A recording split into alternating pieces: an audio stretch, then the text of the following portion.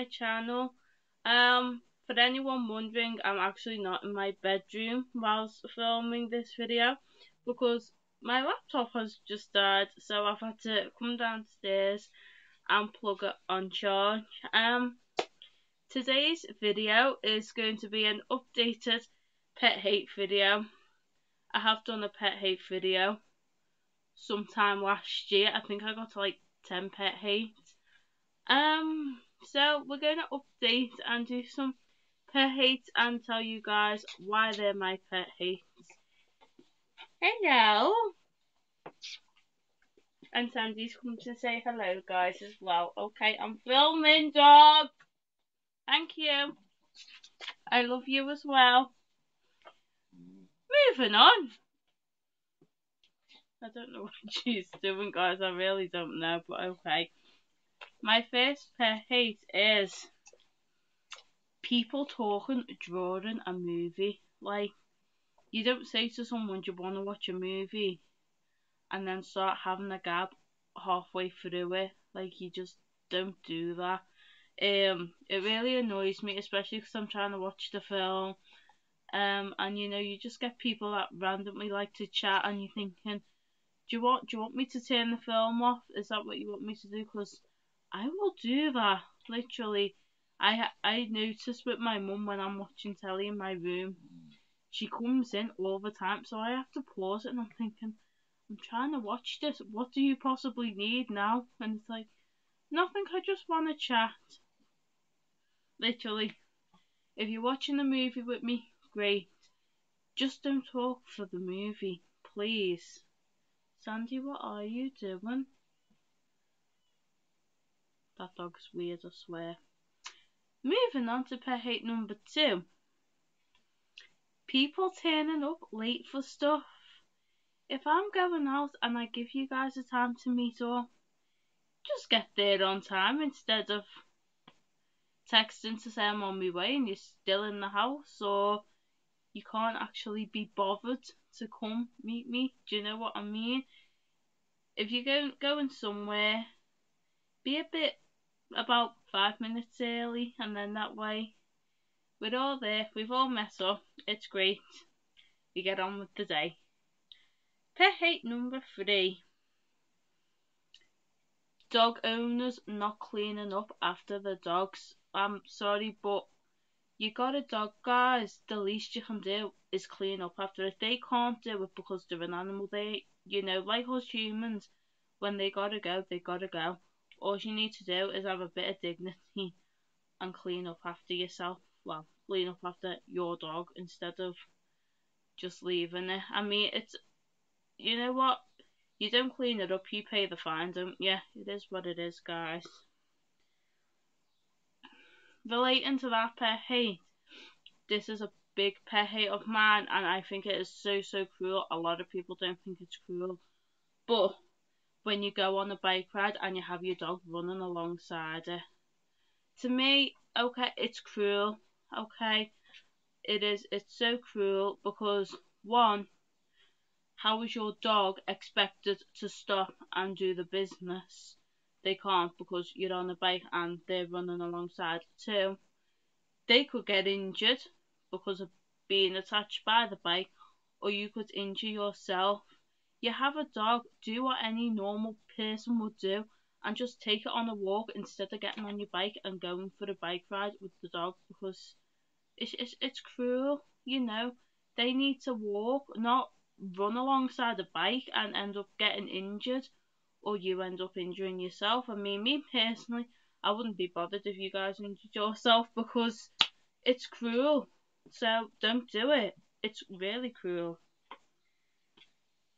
Hey, another pet hate of mine. People not using tissues when they cough or sneeze. You know when you're out on public transport and they just have to start coughing and sneezing all over you hello, bit of personal space, you know, use tissues, bin it, and then use some hand sanitizer. You know, COVID, guys, you know, space, keep it spacious, and don't be spreading germs over people because that's just disgusting. really disgusting. Moving on. I don't even know what number we're on. I think we're on number five now, but you know. Lies and dishonest people. Now, for you that know me, you you know full well what happened with me and my job. Unfortunately, I can't discuss it. Um, but you know, for some for someone that I've known a long time to finally find out the true colours in her after about 14 years and what that person done to me and to my family was despiteful of her. And this is the nicest way I'm going to put it across now, is she's lower than a snake's belly. You can't get any lower than that, and I just, I just wish that person had been honest with me from the start because unfortunately bad things went and happened you know. Unfortunately i'm the one that felt like i had no choice but to give my notice and to work. Um it is what it is unfortunately. Um but you know we move on from there and hopefully something like that won't happen again. Fingers crossed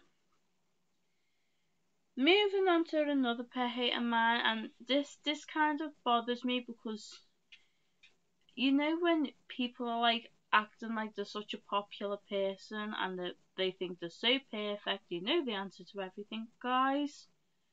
Nobody is perfect. There's no such thing as a perfect person because everybody has to make mistakes to learn from mistakes okay? Okay yeah you're perfect in your way. I'm not going to say that you're not because you are, but you have to make mistakes to learn from them mistakes. You know, if you're starting to climb up a ladder, you've got to start from the bottom and you've got to climb the steps in between to get to the top. You can't just go straight from the bottom to the top without climbing the steps in between. Okay, you guys are perfect in your own way. I'm not perfect at making YouTube videos, I know that, but I still do it. I try I try my best to entertain you guys, which is what I love doing anyway. Um, but yeah, there's no such thing as a perfect person, so please don't turn around to me and say, well, I've never made a mistake in my life because you're lying, aren't you? Everybody has made mistakes because everybody makes mistakes to learn from mistakes, okay? It is what it is, guys. Being negative. I can relate to that with me a lot, and that's because I've had a lot of negative on me in the past, mainly with school. Um, you know, I was I was bullied quite a lot. Um, I was body shamed. I got called a thicko because I have dyslexia. Um, so when people are positive with me now, I I kind of tend to pull back to the negative and say, you know, I'm not pretty, I'm not this, I'm not that, and that's because it's reflected so bad on me. I do like to po- spread positive vibes to a lot of other people though, um, and I like to compliment them all the time. And then when it comes back on me, I go dead insecure about myself, and I feel like, oh my god, I'm not this, I'm not that. I know I'm that. It's just when people are negative with you, it, it sort of sticks with you, if that makes sense. I don't know. It makes sense to me, okay? Moving on. Um, big headed people.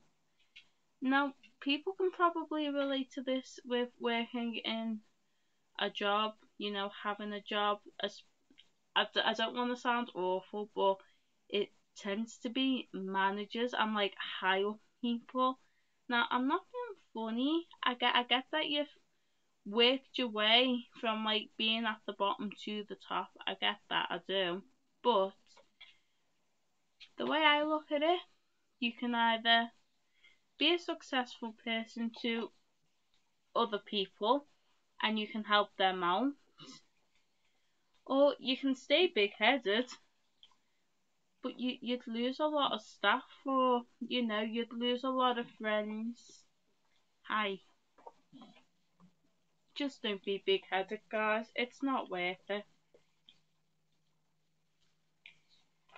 Getting told you're too old for Disney.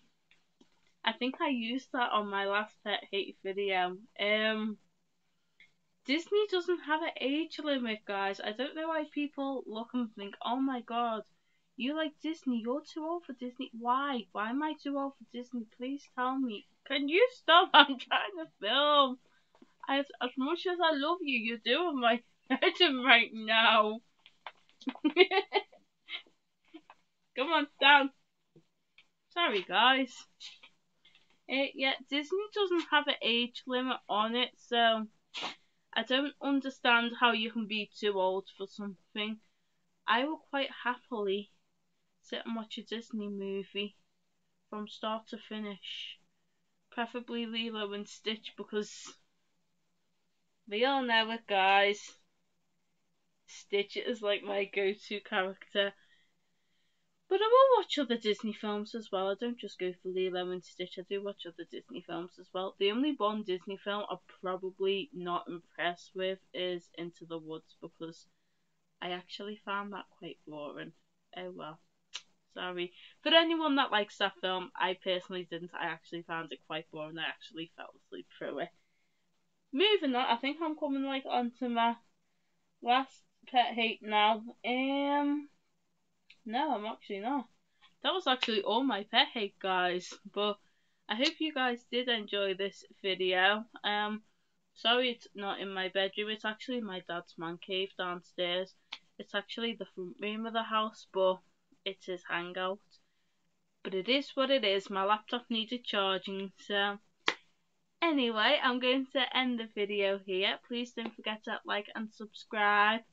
Come join my YouTube family. Go follow me on TikTok. It's 09 Jess Wilson. Go follow me on my Instagram. It is Jess Wilson New. And I will see you guys next time.